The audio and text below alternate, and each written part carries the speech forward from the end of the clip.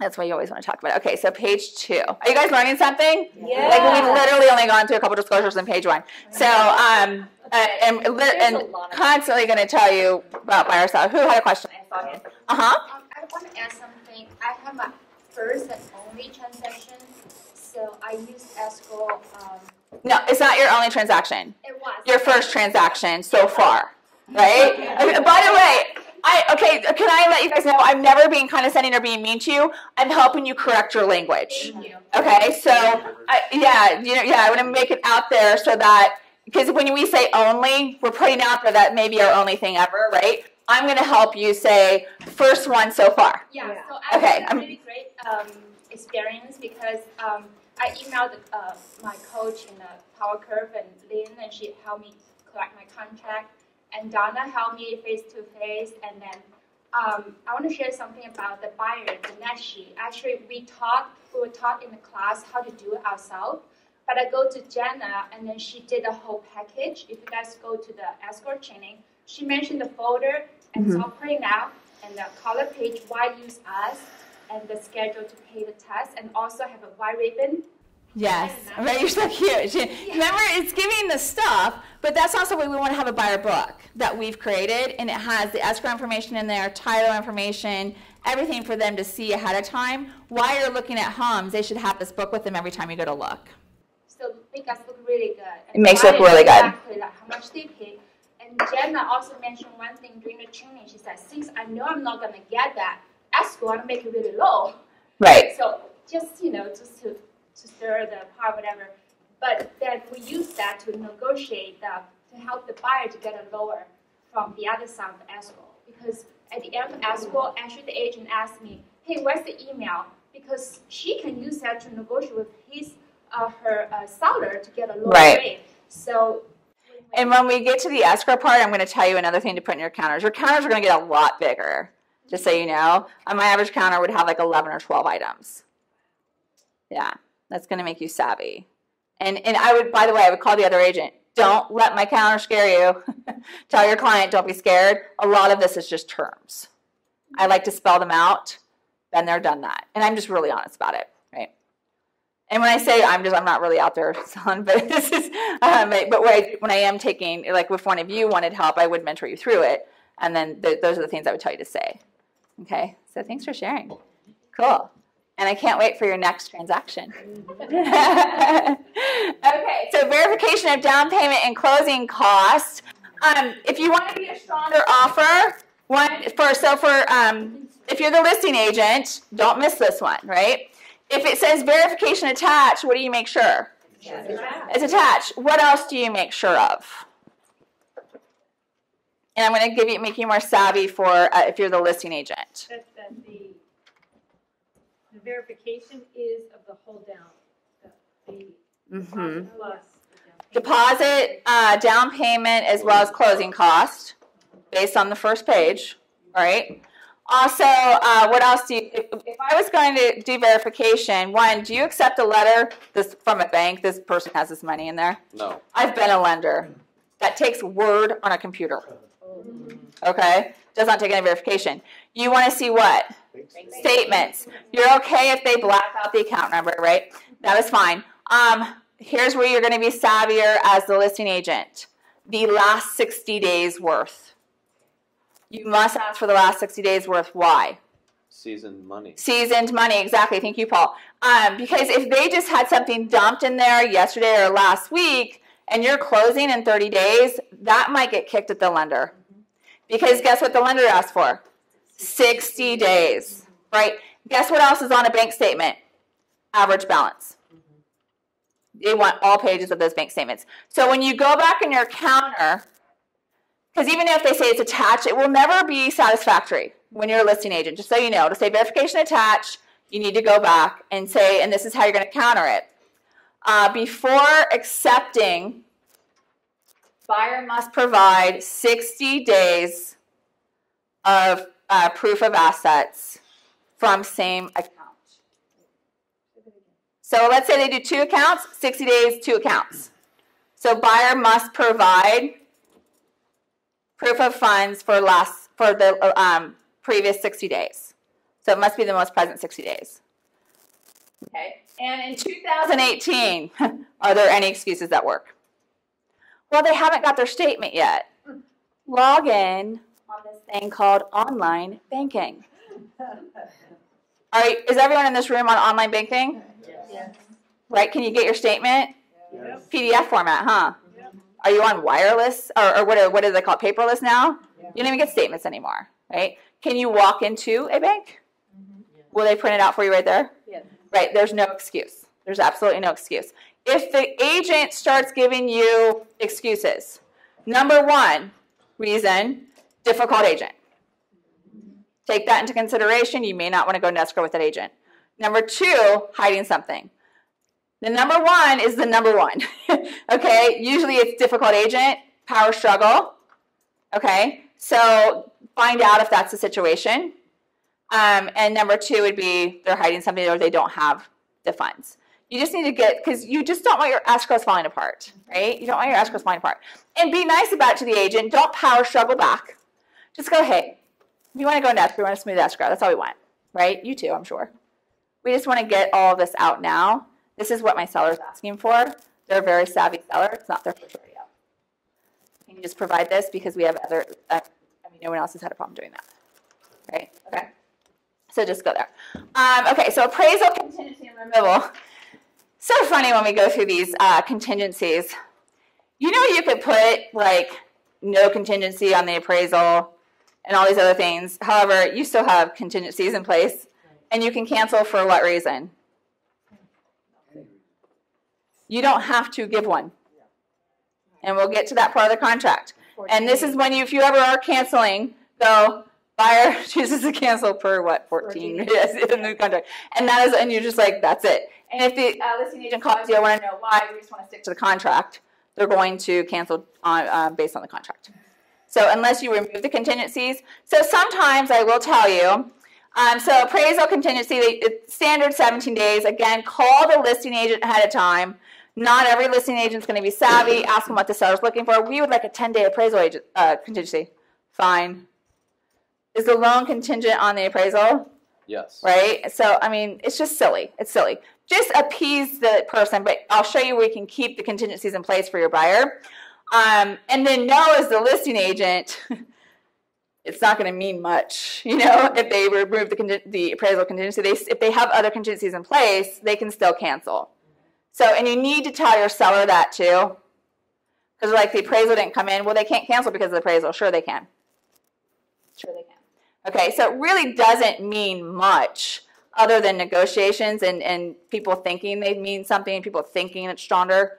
Um, but, you know, ask them what will make them happy and make it all egos happy and all of that. Um, if it's not contingent on appraisal, you can put it in there. When is it not contingent normally? Cash. Cash, right? Um, and when they're not going to do one right? So if they're doing cash, do cash offers also want to buy at or below market, Yes. right? So find out if they're going to do one. Always recommend that they do one regardless, okay? Okay, you find out a lot of things in appraisal that you don't even find out in a home inspection, right? Now, all the seasoned people are so funny when I say things, they're like, you have no idea. Um, they've been through all these things. So loan applications within three days. Should you ever be putting in an offer without uh, this already being done? No. Right? Okay. So I you could put one or zero or letter attached. If you're going to be representing the buyer, put letter attached and provide the letter. You're a better agent, and um, the listing agent is going to take you serious. Okay. You have to. You're not just selling to the seller. You're selling to the agent. Okay, so you've got to be taken serious. Letter attached. If it's not attached, put one or zero. Call the listing agent. Have you ever been out of town and you didn't have it on you or, or whatever or something, or the lender's out of town? Call them again. Communication. Say, hey, we have it. Um, I want to get you an updated one with the correct price on it. So I'm going to put one in there. I'll get it to you tomorrow. I don't have it right now. It's 10 o'clock at night. I just want to get this to you while I'm doing it. Okay. Um, buyer insists on it coming in. I want to let you know they're totally. But have the conversation because if not, they're like they're not approved. They're not approved. Okay. Here's another thing that's going to go on your counter. And so I would often put it in the MLS, but it's got to go. If you're a listing agent, this goes in every counter. buyer to cross qualify with the lender that you have the relationship with, right? Absolutely. We have an in-house one, right? Um, I would go a step further. Buyer to be pre to be approved with so and so. I, I don't like cross qualify because all that means is they can give them whatever information, but I, I like to actually go through the underwriting process. Buyer to be pre-approved? You're forcing double up. And that's the question. Do you have to force double app up to appraisal? No. Okay. No. No. Because the contract's already um, like they can be approved with contingency, like you know, with their their terms. Okay. Um, that that's fine, but you want to be approved. And you're doing that because you don't know their lender and you don't know what kind of troubles they're gonna cause and, and our guy can. And you're doing. And by the way, when you do listing appointments, Yeah. you should always be telling your sellers things that you do. I want to let you know every time we get an offer, we will make them get um, approved through our our in-house lender as well. That's who I have a relationship with, Uh-huh. and I trust him. Right? Uh huh.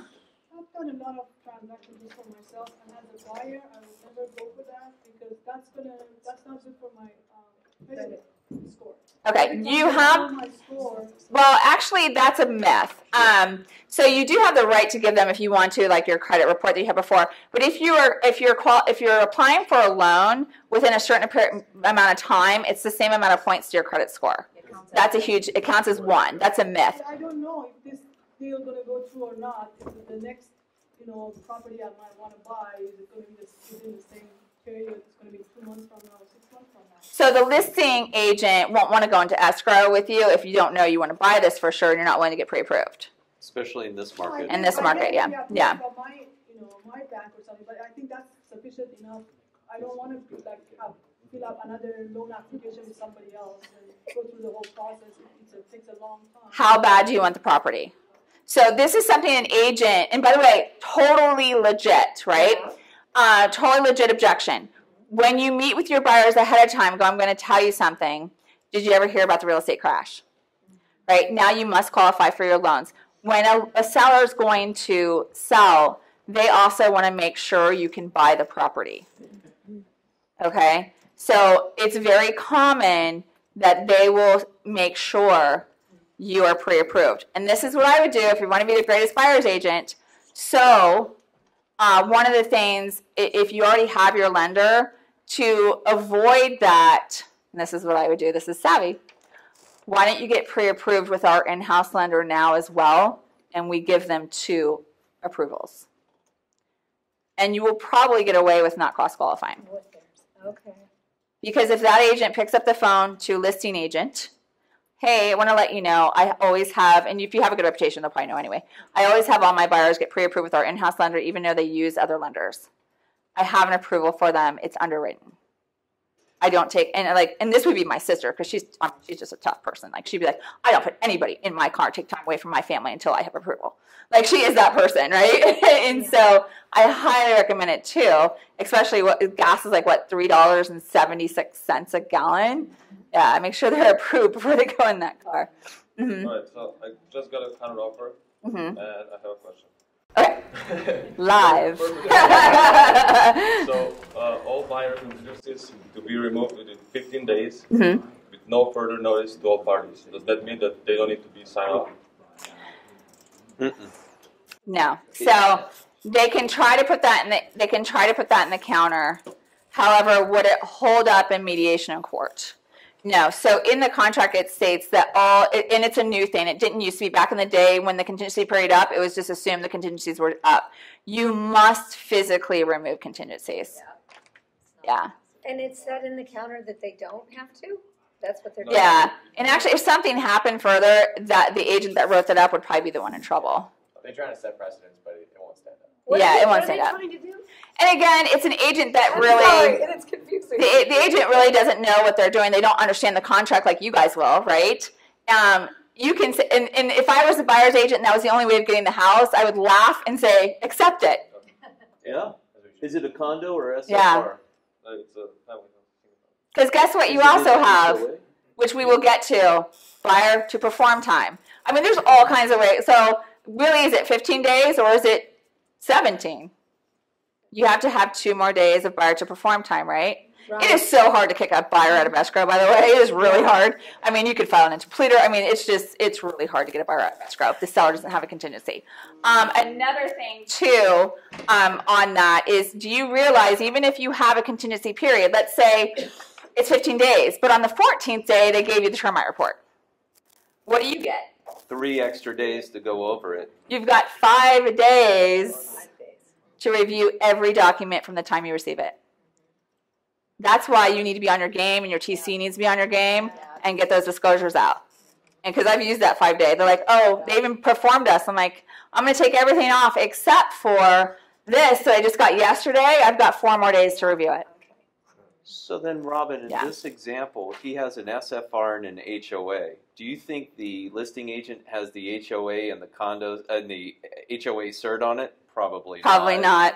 They don't have the latest meeting of the minutes. The HOA info is going to come 12 days after acceptance, if then. So By the he- way, this is your competition. These are just agents like, well, I'm going to write this up and we're going to do this, and they're telling their they're telling their seller like, we're going to do it this way, and when you, I'm going to protect you, and blah blah blah blah blah. It's like you don't even know what you're talking about. They all they have to do is read the contract, and it says in there. That's why I say read the contract so you know it. It says in there everything that they just put in that counter doesn't mean anything anyway. That's why I'm like always like, don't worry about it. It is so hard to pick a buyer out of escrow. Um, but if we stick to the contract, you know, and just protect our do our fiduciary duty to our, the one we're representing, and that's why when we're on the listing side, make sure in that first five days you have everything out. You know, and what else do you have to do? You can't just send it. What else do you have to, guys? What did you have to do? Confirm receipt. Yeah, confirm receipt. Do not. It could go to spam. You've got to confirm receipt, and make sure it's in writing, because this could come up later. Does that make sense? Okay. Cool. So in this example, on 15 days on items J2 and J3, they accepted a finance a, a loan. Mm-hmm. So even though the broker says 15 days, the loan didn't agree to that on J3. So does he have 15 days, or really, because the lender didn't sign off on contingencies, he's still taking 21 days? Even if it says it in the RPA, does the bank agree to those 15 days? So that's also when you have a conversation with the lender, how fast can you get this done? You want to have that in the beginning, but um, the bank's not buying the property. Right. So it's the buyer taking the risk. It's up to the buyer to find the lending that can participate in that time frame. But under Okay. RESPA, most banks have the extra three days. So they say, yeah, we can do it in 12. And do you guys understand anytime there's a change on the loan, they must, there's add of three days, Every time. Add three days. I mean, that's why I say it is so hard to get a buyer out of escrow because then you'd have that log um, for you. So, okay, great, but you guys changed something in escrow. It's not my escrow. I didn't pick it. Now we have another three days. I can't, can't change the freaking law, right? And suck it up, buttercup. Yeah. So then that covers him in the 15 days Yep. of accepting it. Covers which the buyer. J3, right? Yeah. Okay. Perfect day for this class for you. Yeah. Don't, yeah, that, don't let that scare you. So do you have to take per diem if all these get postponed because of holiday loan approval? if you agree to it in the counter, if you agree to it. So you only do what you agree to, but know the contract, right? So let's say, and, and by the way, if I was a listing agent, I would always go back and shorten contingency period because I know, right? I know that there's always going to be these added times on, and I'm going to ask for a contingency removal. And we're going to get to where we can shorten the, the buyer to perform as well. But you got to be on top of your game. That's why it's so important to make sure you have the right team in place. If you're trying to do everything yourself, something's going to fall through the crack. Make sure you have a TC and you, and you have that checklist and you're going through it. Um, we have systems here. I don't know if you guys realize where it even shows you what date everything's due by. As soon as you, if you put it in the in the system at the right time. So I loved that when I saw that. I was like, that's pretty cool. Right? The more they dummy proof thing, the better it is for us. So we have way too many things going on, right? We have way too many things going on. Okay. So uh, loan contingency removal. This used to be 17 days. They've raised it to 21. A lot of that came after they changed the appraisal process. So we no longer pick our appraisals. Uh, back when I was in lending, we would pick the appraisal based on how fast they could get it back to us. So now that we have zero control over this, it just goes through a system and the appraisal is assigned, whatever. That's one of the reasons. Um, you need to be talking to your lender if you shorten this. If you're the listing agent, I would look at this. Um, to see if they change it for you, whatever. I usually, um, most lenders can get this done within 21 days of the approval process. Um, you want to, this is how you're going to find out how approved that buyer really is. Have they gone through underwriting? Have they handed in everything? Because um, a lender can um, give you a pre-qualification letter and a pre-approval letter based on the information a buyer put in on an app Right. and on the phone, right? They have not given their W-2s, their tax returns, their 1099s, um, their bank statements, none of that. So once they actually go into process and it goes to underwriting, that's a whole other story. So you want to make sure that the approval is a good approval. And that's why if you're a buyer's agent, you want to make sure they're approved beforehand.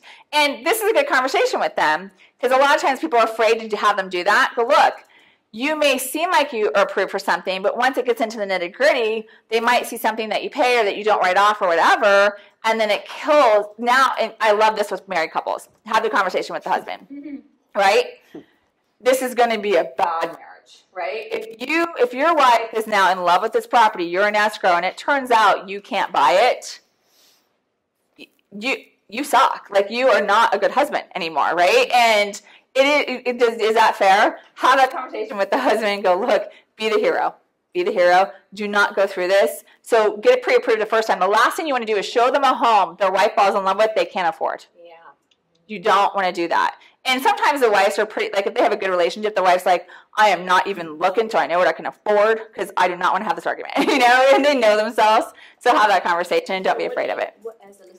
What- As a listing agent, what do you like to see there? What do you counter on the loan contingency? I usually, um, You just leave it? I'm pretty tough. No, I'll count. So we'll get to that when we get. So I usually do all contingencies, like that listing agent did.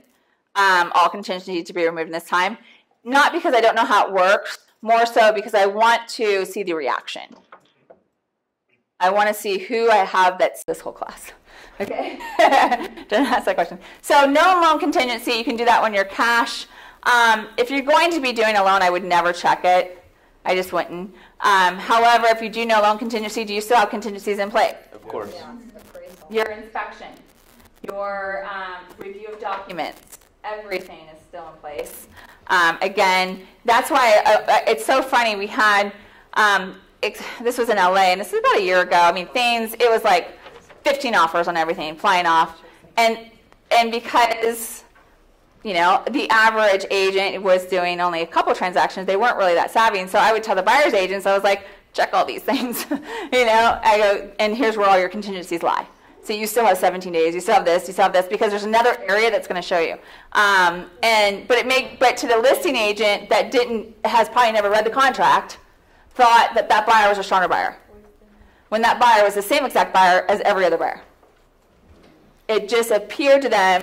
It, it was the illusion and the way they viewed it, right? That's why I like to be factual, be black and white. When we put emotion to it and view it, oh, they have this off, they have this off. It's like it doesn't even really exist. Does that make sense? Mm-hmm. Are you guys getting more from that? Okay. Kirby, Kirby Ellis used to use the example of a foot in the door. You just need one foot in the door to keep that door open. You just need so one your foot. Contingencies are just a foot in the door, and you only need one. You only need one foot in the door. Yeah. Only need one foot in the door. Exactly. Keep it open. Love it. Okay. So this is where we're gonna. Okay. So so so, um, so this. Oh my gosh. When you are a listing agent, please look for this.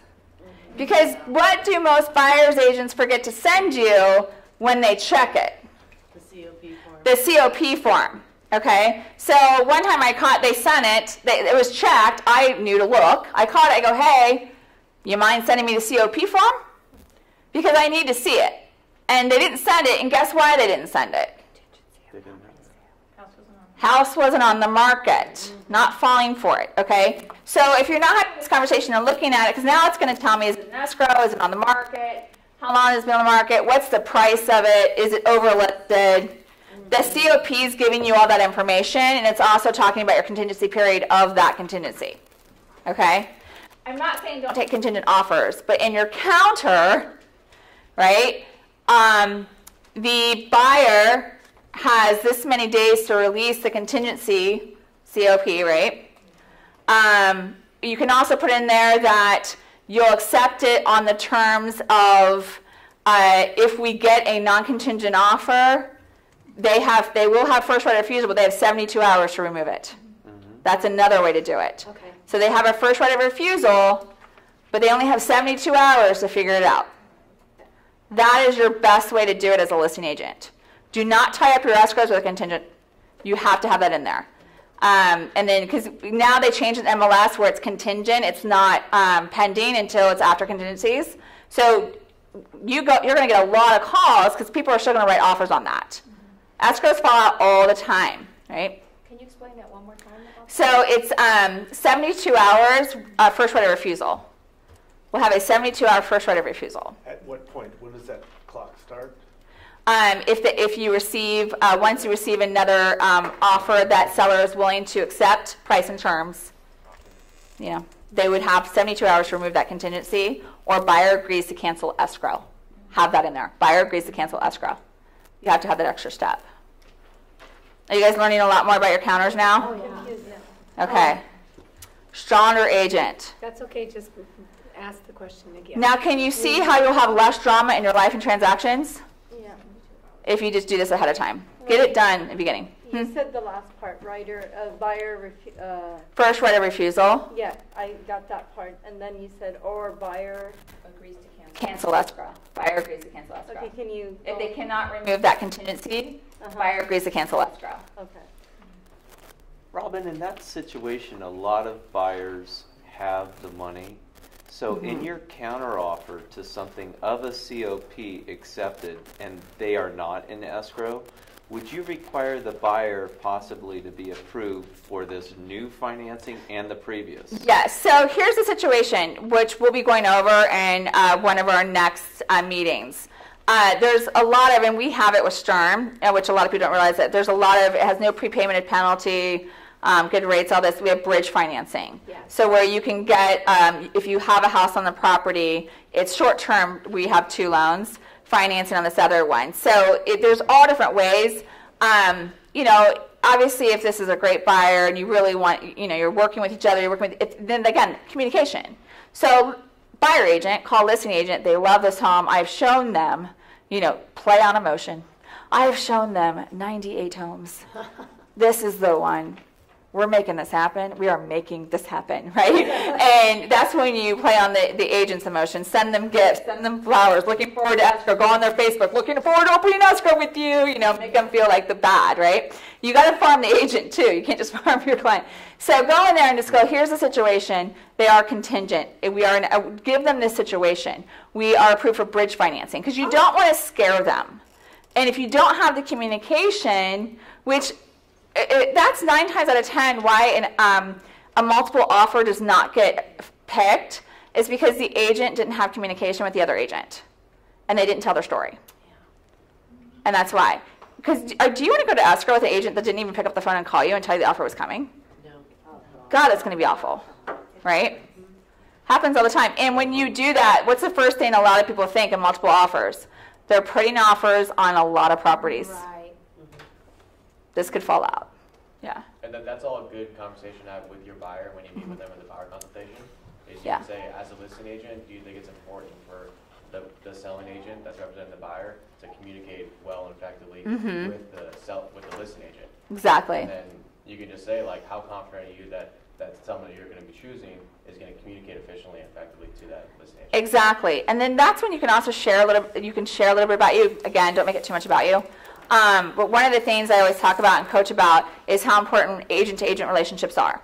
And, and how much I made my career about being friends with agents, which is why I had to work even harder because I, I had no SOI that wasn't real estate agents, right? Um, so I'm like, I, I, the only friends I have are realtors. Um, but it was always good because my, my offer would get accepted or and people would show my, my listings because they knew I was going to be friendly, right? Even even Paul, which by the way, total nice guy. When I moved to LA, you know, he sent me a message asking me if I needed help moving. We never worked at the same company. Oh. Yeah, but we uh, agent to agent relationships. Remember? I'm Yeah. saying you remember that. I That's remember. funny. I absolutely remember. Absolutely remember. You always remember nice things, right? And women, we remember everything. So uh, it's true. But you know, I mean, but that's like that's that's respect. Yeah.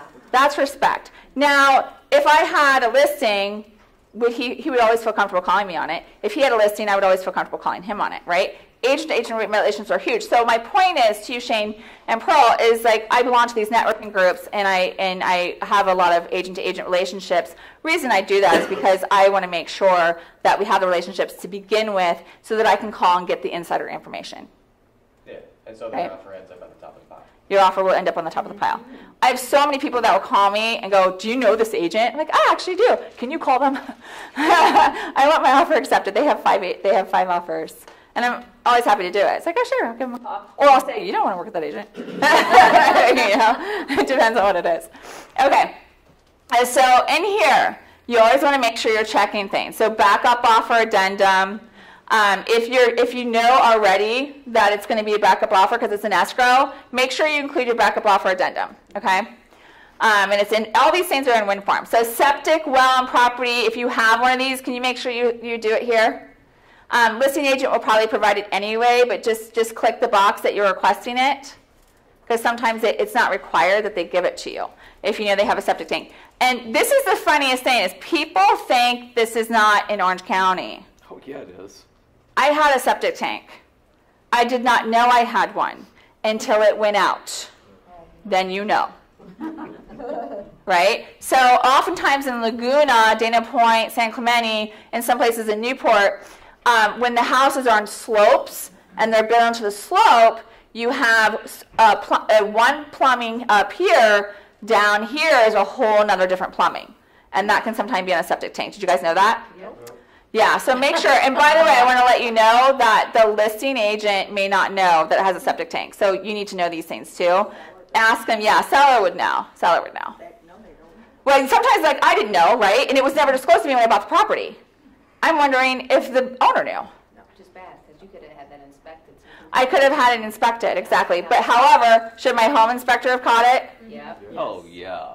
Right? He probably did. I was married to someone that was not handy. Okay, so, um, all right, so short sale addendum. This is very important. There's going to be a lot of timelines in there. Anytime you're doing a short sale, make sure you include that. Again, in the counteroffer, the listing agent will probably, and when you are the listing agent, look at the short sale addendum. I would always counter it with the short sale addendum I put in place and picked my own time frames. Okay, so make sure you're reading it, and if it's if it goes with what you you want to do. If not, provide your own. Addendum one. This is also you make sure you catch this. Addendum one. Sometimes buyers agents, savvy buyers agents, will send this over and forget to put the addendum in there. And the addendum was the good stuff for their buyer, right? The addendum was like, seller to pay this. And you and you totally accepted this offer with addendum one. Without even looking at it. You must look here, okay? And you have to call. Where's addendum one? And it could have been an accident, and who knows? This could have been a template from a, um, a, um, offer they put in before on another property. You have no idea, so just make sure you're reading it. Court confirmation, that's if you know it needs it, like if it's a probate, right? Um, bankruptcy, divorce, that's where you get in the, um, anybody know of any other examples of a court confirmation? Trust. Trust. What else? Anyone else? Sometimes in foreclosure, when it's private parties or liens, you might need court confirmation. Or HOA, lis pendens in the HOA. Yeah, any kind of uh, lis pendens, you might need that. So uh, the most common is going to be probate, bankruptcy, um, and that's usually when it's a, a Chapter 13. Okay, um, and then also a um, uh, because one thing you need to know too, if they're in a Chapter 13 bankruptcy, do you guys understand that's like uh they're doing a loan, so it's for five years. So if they were to go to sell their house within that five-year period, they need to have that approved by the court still. So know, know that going in, okay? Um, and then also if it's a, um, sometimes in divorce, um, I've seen, yay, this was fun. Um, I've seen one person, like it might, the other person might not have ever gotten on title because it was, the loan was just in the husband's name. They didn't put, so they didn't quit claim it to where it was both of them. This is a common thing that happens in Orange County. Wife doesn't know any different. And um, the husband tries to sell it out from under. right? Um, don't get in the middle of that. Just make sure you know if they're going through divorce. You can also look up and see. So if it says on title, this is a good thing for you to know. If it says on title, married man or married woman, sole and separate, because that's what it would say if they did it, uh, if they went, um, got the loan on their own. Usually what happens after that is they quit claim the spouse on it, and it's like community property, site rights, all that kind of stuff. So when they, it's usually sole and separate for a few reasons. One, they got the loan by themselves and qualified. Maybe the wife had bad credit, or maybe the husband bad credit, whatever the reason is. Or they have this person has three loans in their name, this person has two loans in their name, whatever that is. Um, that's one reason. Another reason might be that it might be a property that they had prior to this marriage and it's part of their prenup or whatever, it's not included in the assets that they have together. That's also another reason. But you have to get to the bottom of it. So when you go to the listing agreement, uh, you must ask them, is there anybody else that would have claims to the property? I know that your whole title is married man, sole, and separate. Um, is are you are you currently married, and is your wife going on this as well? You have to have the conversation, okay? Because you don't want to get in the middle of um, divorce courts. And if they're like, well, I filed for divorce, do I need to talk to an attorney? Your attorney. Um, what's going on? You've got to find this stuff out. And it happens all the time. Orange County, especially, actually, it really, really does. Um, so, um, other, what can you put there? On the trust, Mhm. if, if the, if the house that you're gonna be listing is in a trust, you have to get court confirmation? You don't have to, Okay. but sometimes. Um, Sometimes. So what if you're dealing with the person that's on, it's their trust, then you don't have to? You just need to get, escrow will also get a copy of the trust. You need to find out what the, what the terms are. Okay. Um, sometimes if the trust is like, if someone, uh, there's someone that died in the trust, like it depends on what the trust is. Mm-hmm. Um, also, if someone's not in agreement of the trust. Um, it, but usually when it's in a trust, it's pretty clean. Okay, That's why it's in a trust Mhm. and doesn't go to probate, right? yeah, So people should be putting their properties in trust so, to avoid probate right, and, and save their kids the, the nightmare. right. And then you have That- to get a trust uh, advisory if, if it is? Yes, you get a trust advisory. Always, even with your listing agreement, you have to Even with have your them- listing agreement. You have to have them sign that, Yes, okay. yes, okay, The trustees of their own trust. Yes, yeah. yeah. On the buyer's side, Robin, the CCA, what Mhm. happens if you see something, something funky on title, it's a multiple offer situation again under five hundred? As the, that's really not the business of the buyer's agent, that's a further disclosure down the line, so don't rattle the cage at that point. It depends. I So mean, How do you put your? let's say you saw a lot of liens on there Mm. or a lis pendens. I, I would call the listing agent, go, hey, I just noticed when I went to write this, I noticed when I was confirming the assessor parcel number, I noticed it had, or you noticed that the lien is like more than the purchase price, you know, it's a short sale, or what you just try to find out the information. Just go, is there anything to be concerned about? You know, what's the situation? And have the conversation. Usually, if you even call, um, you don't even have to bring that up. If you, uh, you'll find out ahead of time what kind of listing agent you're going, you know, you're working with too. Um, and you can also call title because a lot of times what it says on Realist at title they'll have well this one was taken off, this one was taken off. So I would call title, dig a little deeper first, call the listing agent, go, hey, I'm going to write up an offer. Is there anything I need to know? and ask at that time. Um, if you think the listing agent's newer or like out of the area, they may not know. Sometimes they don't pull up a prelim until they go into escrow. You should always pull up a prelim before you take the listing, right? It's like so easy to get them now within 24 hours. So um, you want it because you want to know what's going on. Are the liens on it? It have a mechanics lien? You know, is there anything you can get off? for it. Um, sometimes mechanics lien, if it's gone, I think it's over two years and it hasn't been paid uh, in a certain amount, you can actually get it off the property. So um, there's and there was no action taken. You can get it. So you actually will be hero to the to the seller, right? Um, so there's a lot of these little ins and outs, and title knows that. So call title first. Is there anything I need to know? Is there anything recorded on here recently? Um, it doesn't always show up on Realist. Do not trust it. Okay, makes sense. So on other, uh, you want to hit that if you're putting in another um, document that um, you know may not be on here as a choice. So anything in win forms that you're adding to that, and just put it in there. Statewide buyer and seller advisory.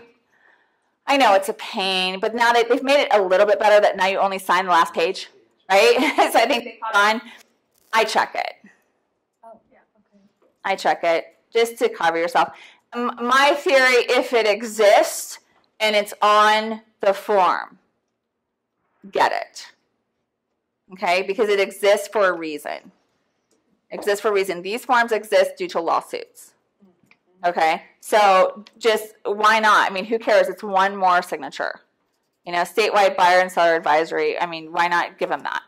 Um, and, and does anyone have anything to say about that, or do you agree? Or and some, I think our office requires. Does our office require it, Dieter? For- Yeah. No. No. No. Some some don't anymore because SBSA. yeah, some don't. We do. Okay. Require it, not a time of offer. Statewide, yeah. Oh, yeah, we require it. with the offer. No, no. Do they require it for- before closing? Yes. Okay, yeah. So if I were the broker, I would require it for the file. So we still require it. Is it um, always required uh, according to the Bureau? I don't. I, I actually don't think it is anymore. I don't know. I, I just would just do it. Just do it. Um, you don't have to do it at the time, but have it checked. Okay. I usually don't send. If I have it checked, I don't send it with the offer because then the listing agent's like, oh God, you know. However, you check that you want it. Okay, that's part of the battle. Just check that you want it. So when you're when you're the listing agent going through, you know that regardless if your brokerage, because I've gotten in kind of arguments before with the other agent, my brokerage doesn't require it. Great, good for you. It's checked in the purchase agreement provided. Yeah, if you don't want to sign the one page now that they made it easier for you, please put refuse to sign. Well, it's- it's Yeah. a great document for Mhm. a buyer or seller who's going to actually read it. Exactly. Because everything that's in that is stuff that they Google all day long. And then you get like the real stuff. Yeah, it's like a pamphlet. It's not cancer. Yeah. Right, Yeah, It's like, a- it's like handing them a buyer seller pamphlet. I always tell them, if you read this, Now, would that be a really cool thing to have in your buyer book? I'm giving you all your stuff, guys. Okay. So, So in one of the PowerPoint classes, one of the managers stated that he doesn't check anything except that buyer's inspection advisory at this point. He requests all of that during the due diligence process. okay. Because So, multiple kind of offer situations, a listing agent could get overwhelmed and just, you could just deal with that later. okay. No offense to your teacher, but that was dumb advice. Okay. So, um, it it will cover you later. And the reason why this comes from experience. Okay. So there are brokerages out there and smaller brokerages that do not require this for your file, and you're dealing with egos. They will argue and not provide it to you, and you want it. Yeah, I didn't ask it for it. You don't have to provide it with the offer. You just ask for it. It's part of the. So when it's a contract, it's now part of the contract. So I would always check it and never provide it at the time just because it is like 10, 12 more pages.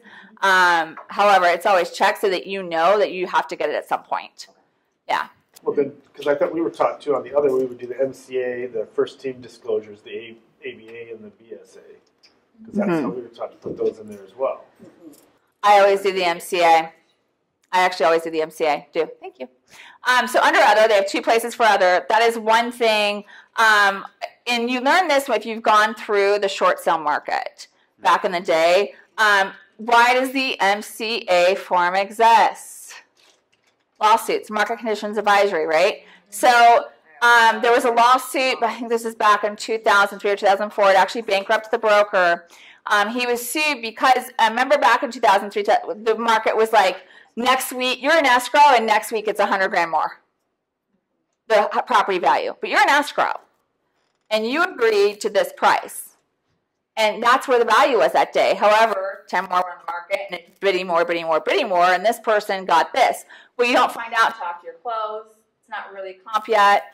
And that seller sued the broker because they blamed the broker basically for not having a the ball. And knowing their book, they said that they cost them 100 grand because this other house a month or two later closed for 100 grand more. And whether or not, you must understand that, whether or not it was valid, legal, whatever, we're in the most litigious state. That broker still had to pay to defend themselves.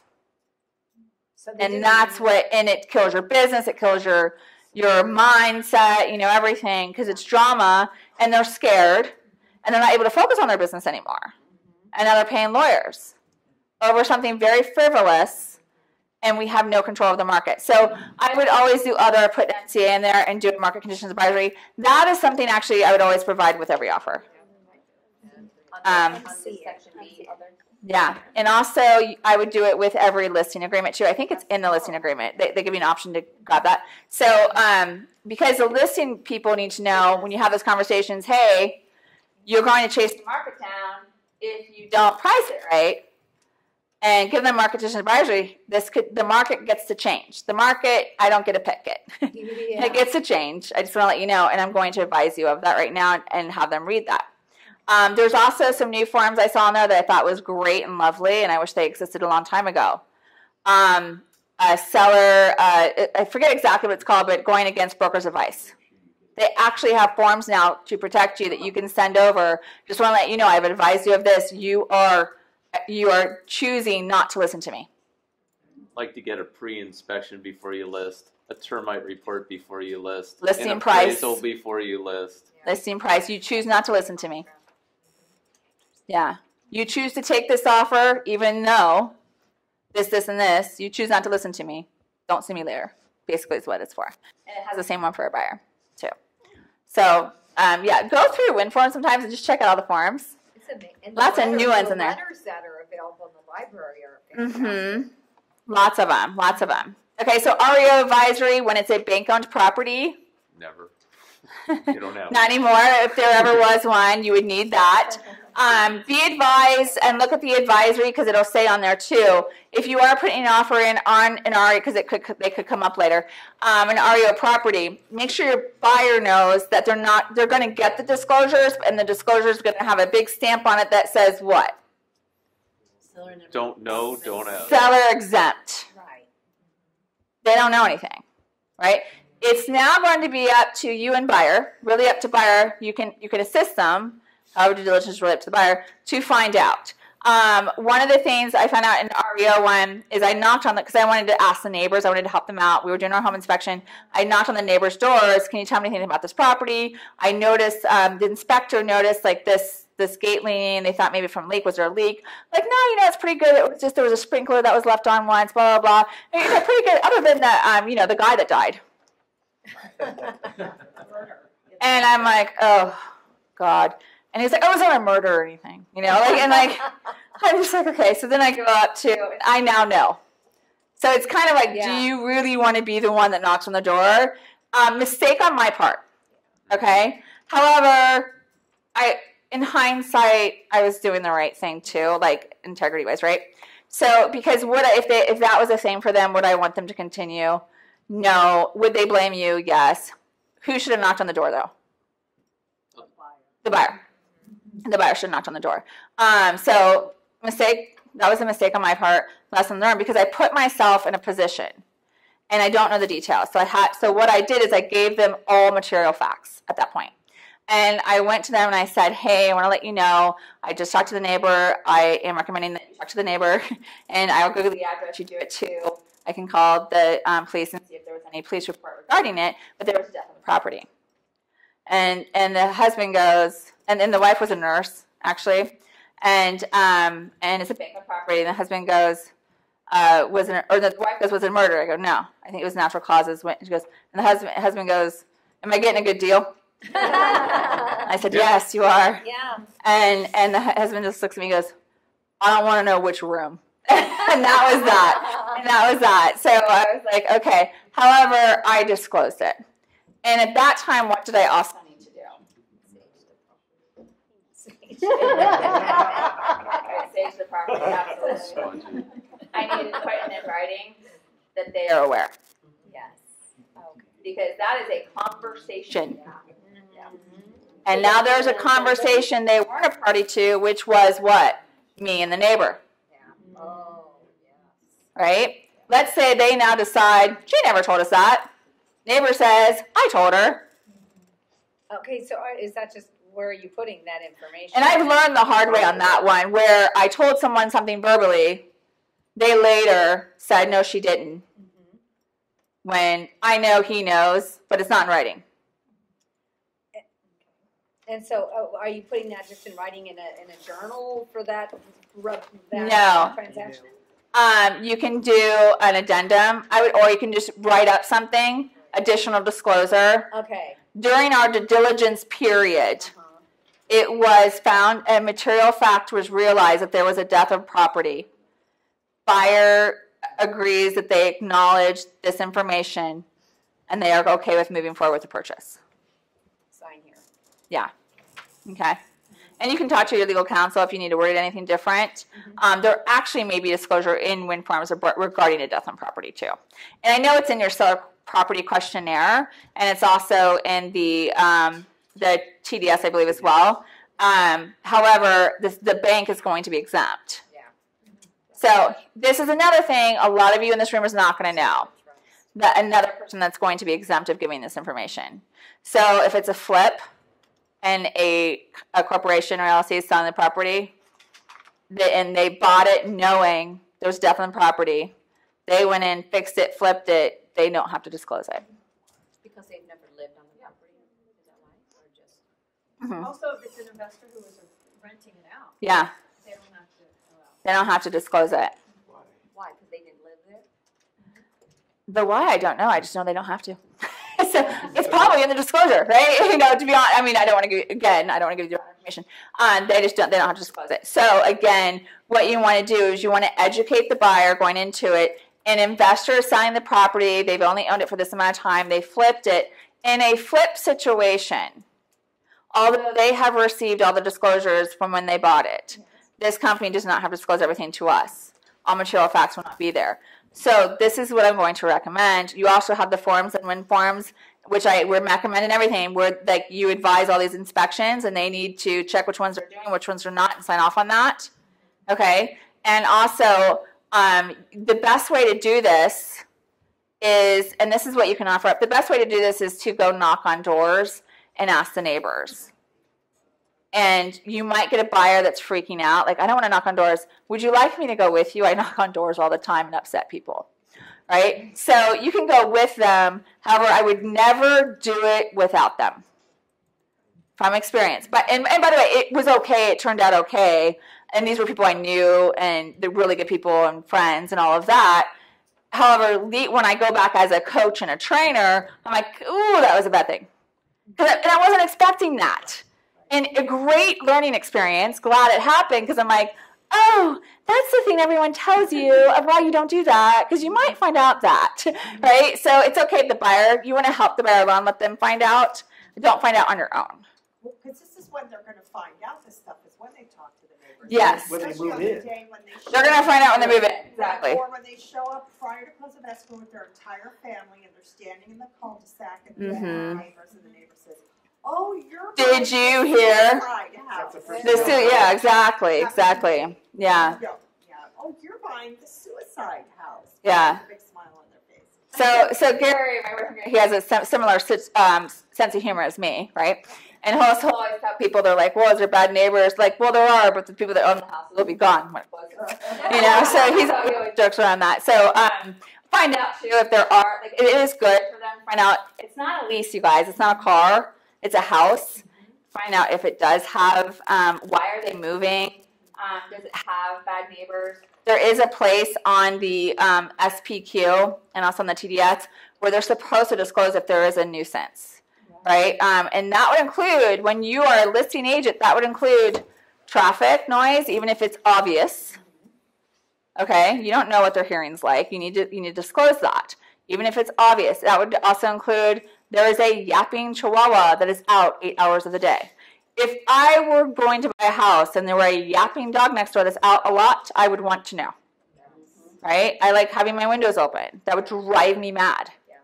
You know, if there's um, if the neighbors are next door, they have kids and the constantly balls are constantly in your yard and they're always knocking on your door to get the ball and you're a private person because there's a lot of people that don't like kids. Right? I'm not that person. However, I don't think I'd want to like answer my door every 20 minutes to get a ball. I would probably knock on the door. Hey, heard your balls are always coming in my yard. Here's a key to the gate. you know, get it yourself. You know, um, or get a really big dog. I don't know. So, um, but you know, you just want to know that going in, And and by the way, is that a solution? Because if they're like, well, I don't want to be bothered all the time. Okay, great. I heard they're really nice. Why don't you go meet them? Um, offer them a key to the gate or something. Tell because they're they're trying to be respectful by knocking on your door and not going in your backyard. Maybe you can just tell them it's okay to go back there if your ball goes in there. That's and, and that used to be an okay thing to do to go in someone's backyard and get the ball when it went in there, and now people shoot you. So, um, yeah, growing up, remember when you grow up, you get a ball, you just jump in, you grab it, and you leave, and you can't do that anymore. uh, yeah, just jump the fence, like everyone. There were no, yeah, there are fences. Um, okay, so probate advisory when it's a probate, trust when it's trust, short sale information advisory again. I would always do both.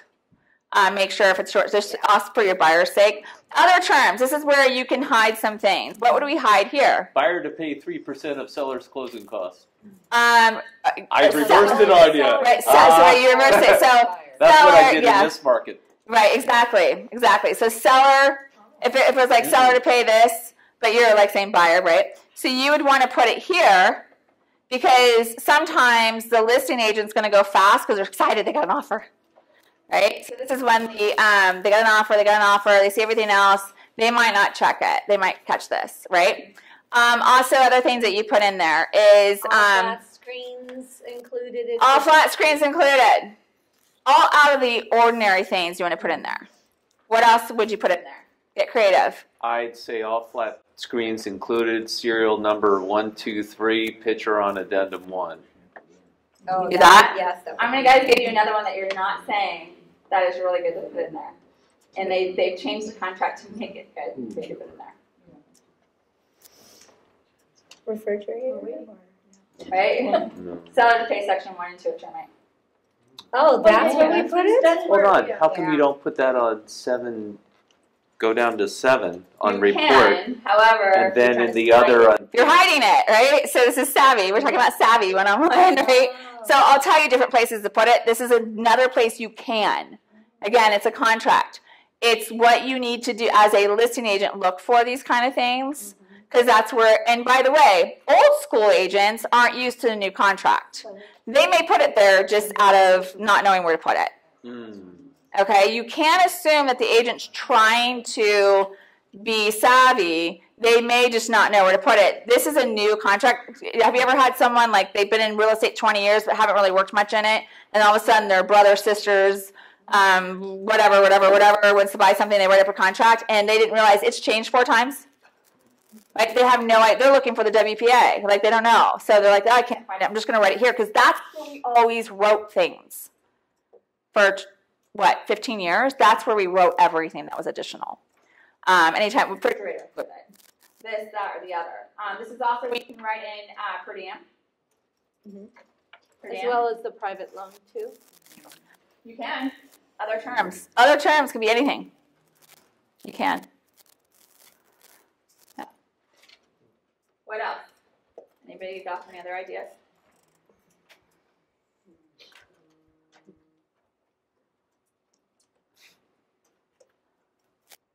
All parties are aware that buyer has a California real estate broker's license, real estate license, whatever. Oh, is this, would this also be uh, related to buyer? Mm-hmm. Related to- All parties are aware, buyer is related to agent. That's right. Okay. Do you realize when they have a real estate license or a broker's license, you must disclose it? You're supposed to. Yeah. Make sure you're doing that. And this is where you'd put it, right here. What else?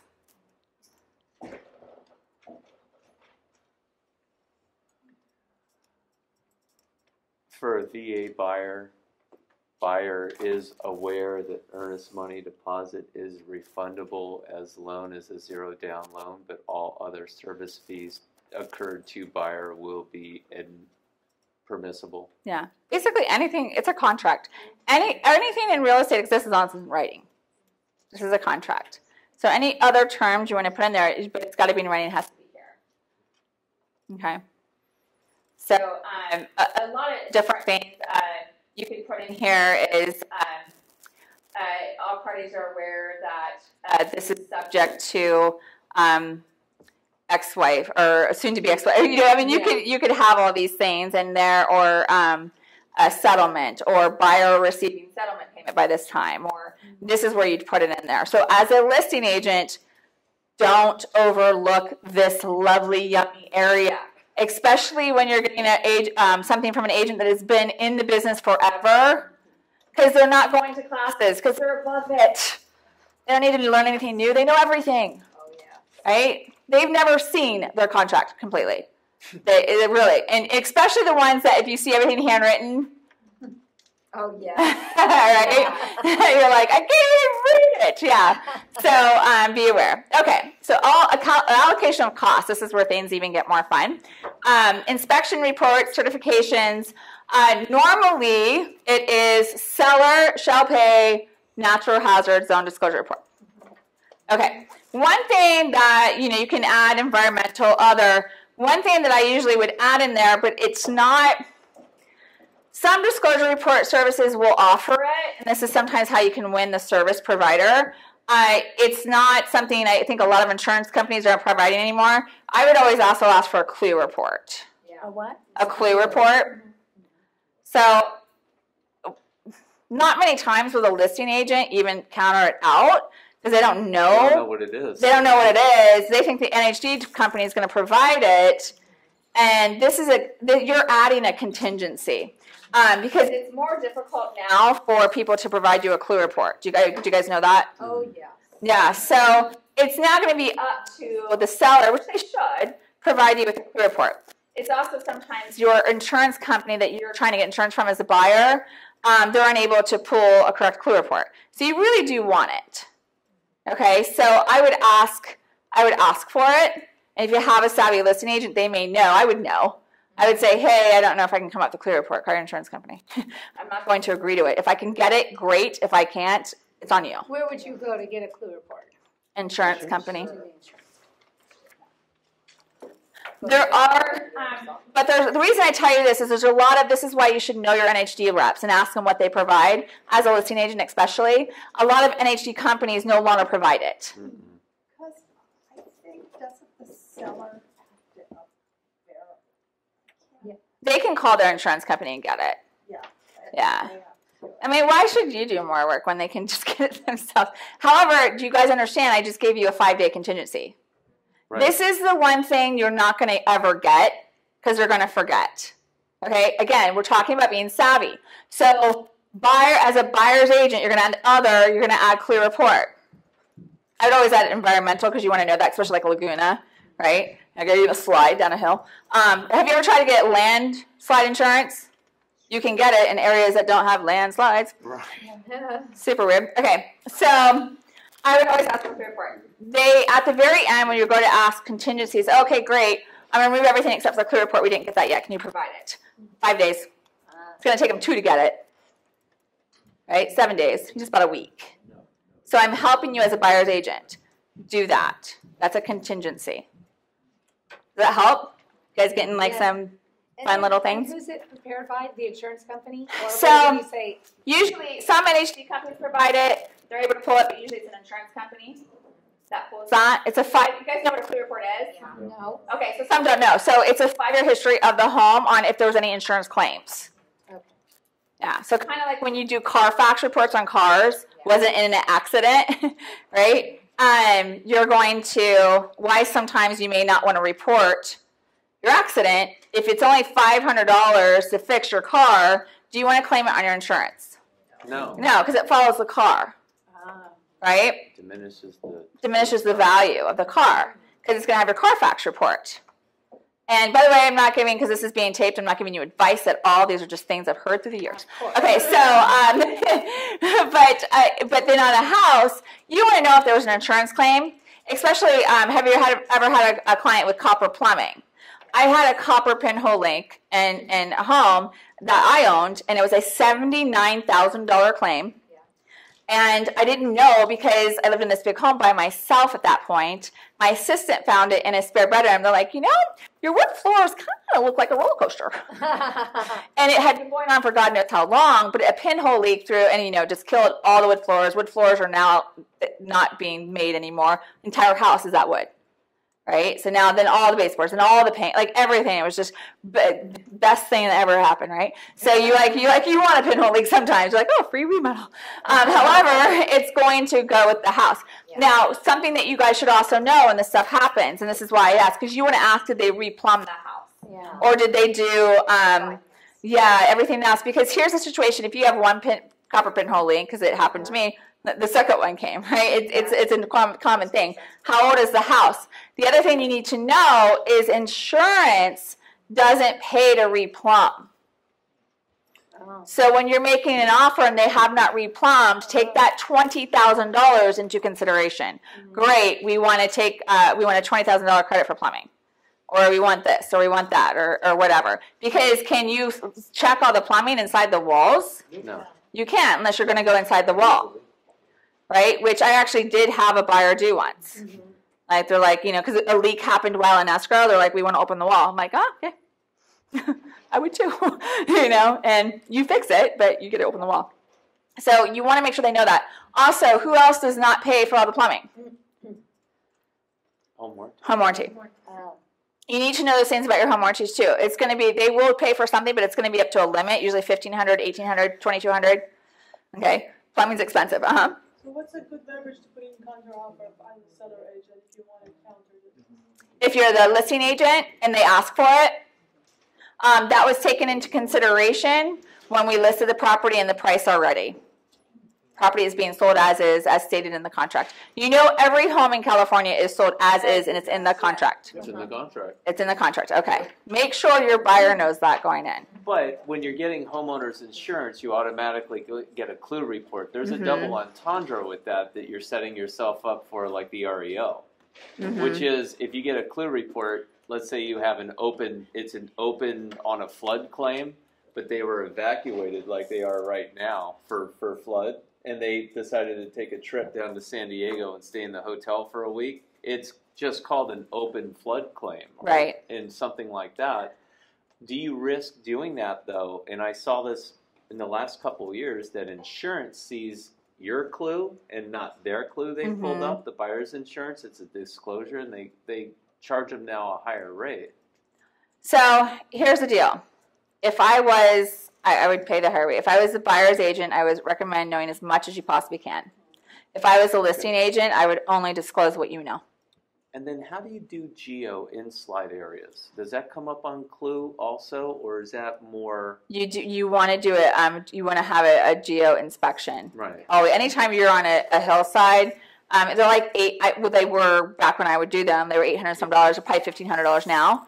Uh, It's worth every penny. You want to know if it's going to slide down the hill But there's not an because you're BKing if that goes down the hill and there's no more land, right? Because nothing's covering that. It's Right. either a loss you walk, or you, a lot of people end up in bankruptcy.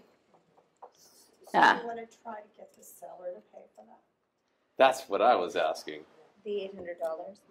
You can, you can. We'll get to that when we talk about inspections. You can. So if it was like a Laguna thing, yeah. If you- if a lot of times when you're, by the way, when you're working with buyers at that time, you go into like let's say they're buying a ten million dollar property. You should be having the conversation before, and it's not going to be a sweat off their back. Um, uh, inspection. You're going to do about five thousand inspections. Oh. Okay, And that's normal. Association too on plumbing, a lot of. Yeah, a lot of it's condos. Oh my God, San Clemente, there was one there. They had to come and redo all the plumbing. By the way, the association would come in and do redo the plumbing. However, the buyer should know if they want to deal with it, right? They have to know that going in. And these are the, another reason why you really need to know about the plumbing. They may have fixed the hole. They may have fixed the cosmetic stuff on the outside. Um, could there be mold all through the, the walls? Certainly. and black mold and respiratory problems, right? So um, you need to know that too, because that that mold, how long it, it takes less than a day to grow. You don't know, and you don't know if it was. Um, sometimes they just put bleach on it and call it a day. You have no idea what they did to repair that. Um, the real way to repair it is if they had a mold person come in. Do they do the air test? Because they, if they don't remove the boards, they're not removing the mold. Cleaning the mold is not going to remove it. Okay, and I'm not a mold inspector. Disclaimer. And lunch will be here soon, just letting you know. I think. Did, uh, as Allie coming? Oh, she already delivered it. Okay, so we'll finish this page in lunch, okay? Um, okay, so. Yay, right? Oh my God, my Okay, so this is a place where we have the season agents. Don't get excited yet. I didn't say lunch now after this page. Okay, so this is where the season agent, um, where we should put the termite, where we don't. There's another place you can also put termite as well. Um, so this is seller shall pay for the following report. Termite, prepared by. What do you put there? A licensed and bonded test company. Yeah, so you can either put the one by your choice, or and, and I can and I can give you an argument for that too. If you actually do have a, a termite company that you really want to support because they support you, you put them in there. And this and I can tell you objection handlers for it. But um, I would put any uh, what I would normally put. There's any licensed bonded um, and, and insured uh, one, and I actually usually put in reputable. Any reputable licensed bonded because there's a lot of licensed bonded termite people out there that are just awful. You know, not very reputable, never show up. You know, Yelp reviews, whatever. So um, this is also a place where sometimes they don't notice. You can put seller um, shall pay for the following thing. You can also include right here termite. Uh, you can put seller to pay for the following. Um, uh, this is where you would put buyer um, home inspection report or any home inspection reports. You can sneak in seller shall pay for the following report. Geo inspection. They don't always catch it. If I were gonna do that, I would do it up here and put termite down here. Mm. Because the way the brain thinks, you're only going to see the termite. Okay. By the way, you're just being savvy. You're not trying to be Sneaky. Sneaky. sneaky. You are being a good agent, though, for, for your client. This is where you would put it. Um, and it also gives you the, another explanation to explain to the buyer this is what the reports that you should be doing. And these are what you are responsible for paying for. So you don't have that problem moving forward. And this is how much they are. And this is a list of people that you can call. Um, you can also, this is, you can sneak in there because it's part of the contract, prepared by any license, whatever, seller to pay for section one and two. That's for section two. If it's in the contract, you can sneak it through if they don't find it. Yeah, depending on the situation. If you know, okay, there are times when you might want to ask for section two. There's a lot of detached woodwork, right? And you know it's rotted when you looked at that property, or there's a detached um, uh, casita, some anything that there's detached or the wood, um, like you know how the fence is in between the yards and the backwoods, and that that's a section two item. Section two item, okay. How about decks on the side And the of it? decks, decks for sure. View decks. View decks, yeah, you want them to do that. Okay. So, not everything's gonna take this long, but did you guys learn anything? Yes. Yeah. Yes. A lot more savvy of an agent now. Yes. Okay, cool. Know what to look for. Mm-hmm. Now, have you have, be honest? Has anyone found something that realized something that they missed in the past on a, on a contract? Oh, gosh. Okay. Yeah, they're so expensive. They're so the mistakes are so expensive. Oh, All right, so lunchtime.